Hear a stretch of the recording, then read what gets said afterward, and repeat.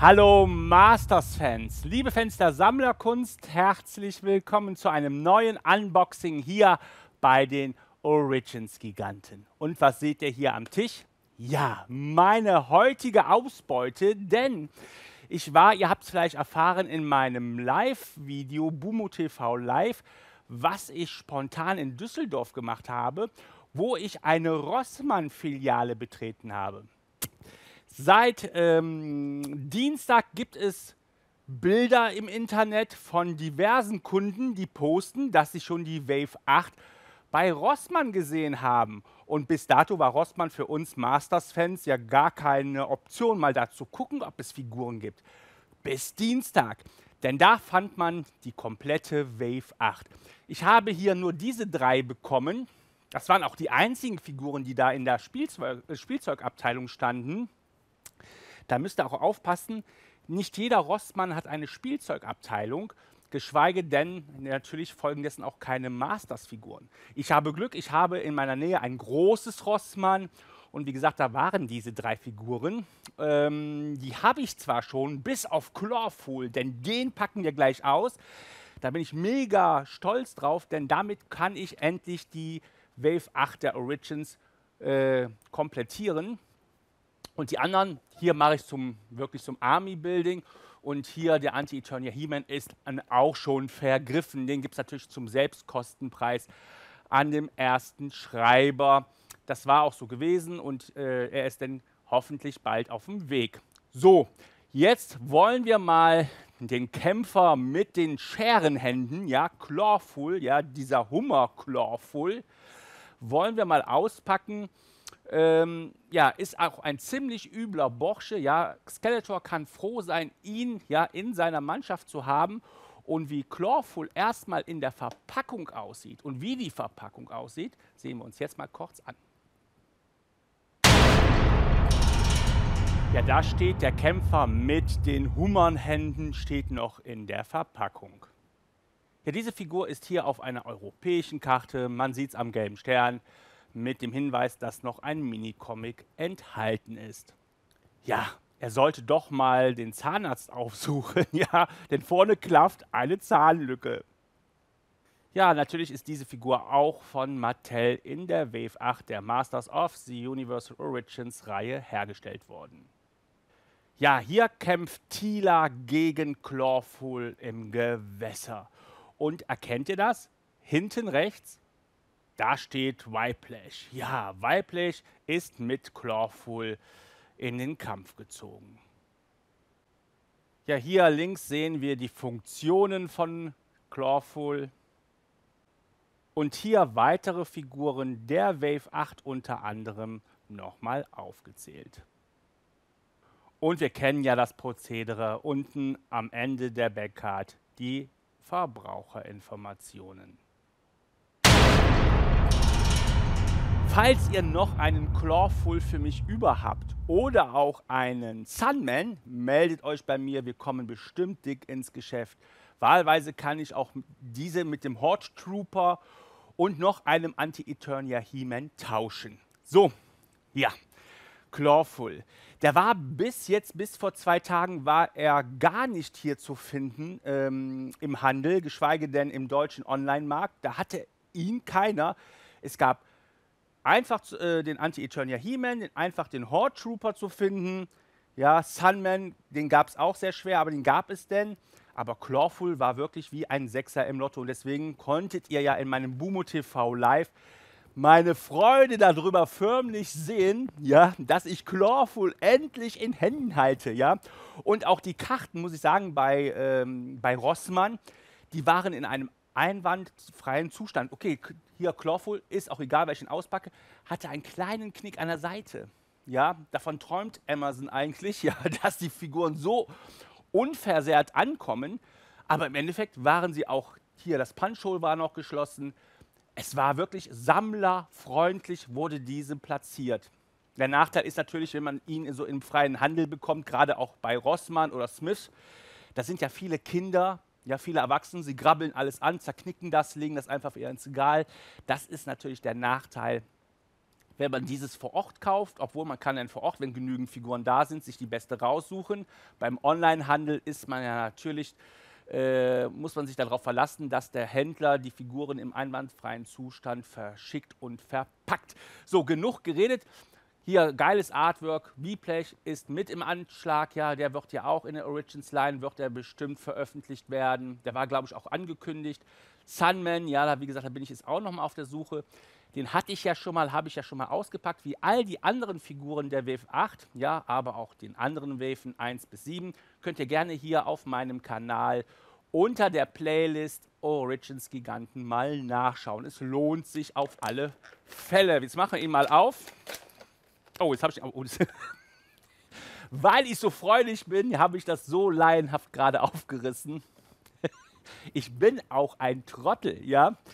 Ist mir no, habe ich noch nie passiert. Aber jetzt habe ich ihn aus Versehen aufgerissen. Ach, egal, ist ja, wird ja weggeworfen. Egal. Da kommt auch schon Ludwig. So, hier natürlich das Minicomic. Rulers of the Sun, ja, Sunman. Dieses Minicomic könnt ihr auf meiner Facebook-Seite auch das Minicomic könnt ihr mal Einblick erhalten. Da habe ich mich ein paar Bilder reingestellt.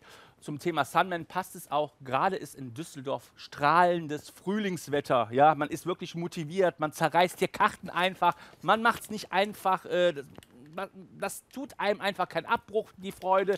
Denn man hat auch tolle Masters-Figuren gefunden.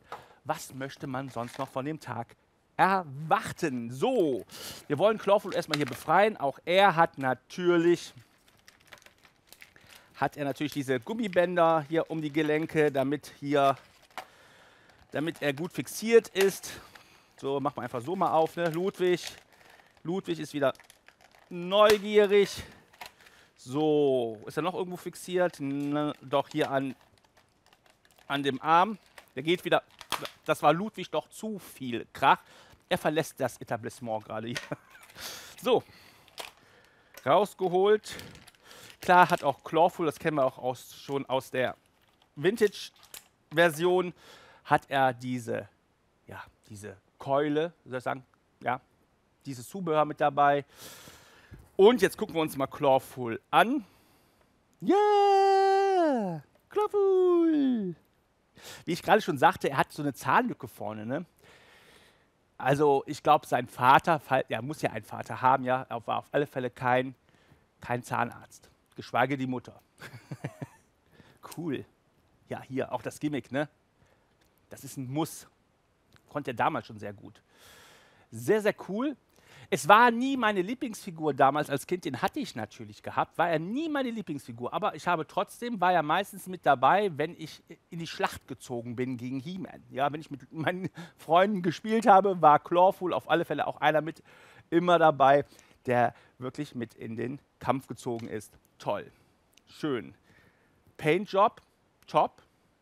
Sehe ich jetzt gar keinen, wo sage, hm, das vermalt oder so, oder fehlt was. Nein, Paintjob ist geil.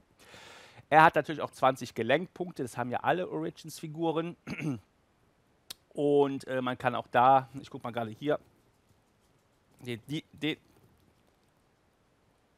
die, das kann man leider nicht abmachen, aber, aber hier hier, seinen Arm kann man abmachen. Ne? Seine, seine Kralle hier geht leider nicht ab.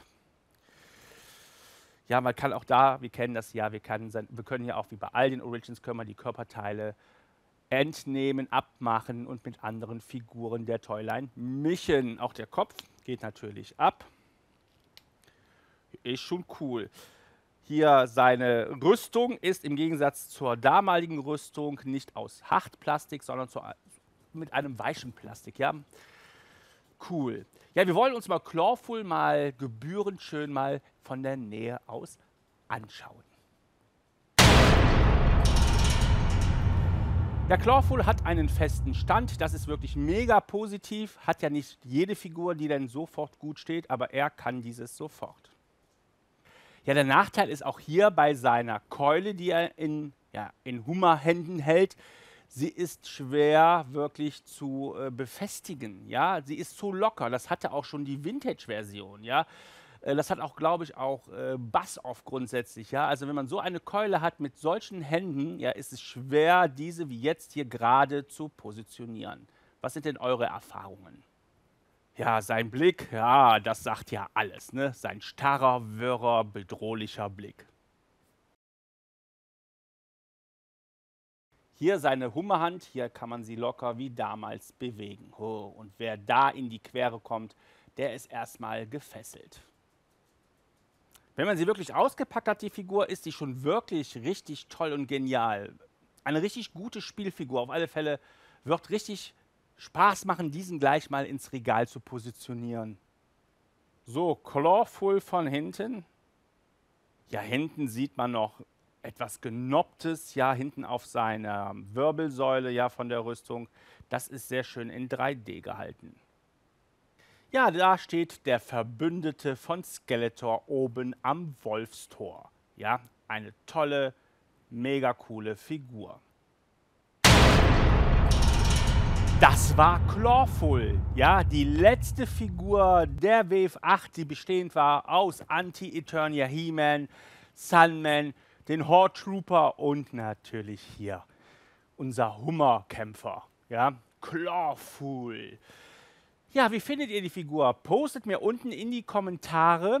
Und was haltet ihr davon, dass jetzt Rossmann auch neben Smith, äh, Real und Müller diese im lokalen Sortiment anbietet. Ja, ihr könnt auch reinschreiben, wo ihr die Figuren bei Rossmann gesehen habt, welche Stadt war das dürft ihr gerne unten kommentieren, damit andere Fans diese Figuren auch günstig bekommen, denn diese Figur kostet, ja, wie überall im Handel, zumindest im lokalen Handel, 16,99 Euro.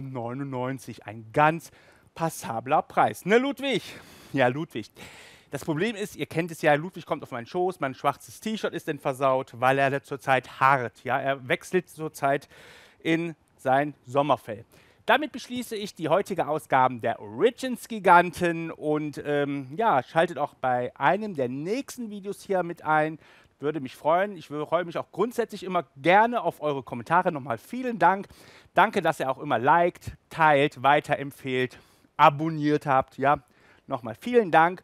Und es freut mich immer wieder, wenn ich merke, die Videos von mir gefallen euch. So, genug gelabert. Ich muss jetzt zum Dienst. Einen schönen Tag bleibt weiterhin sammelwütig und gesund. Ganz wichtig. Tschüss. Tschüss, Ludwig. Juhu.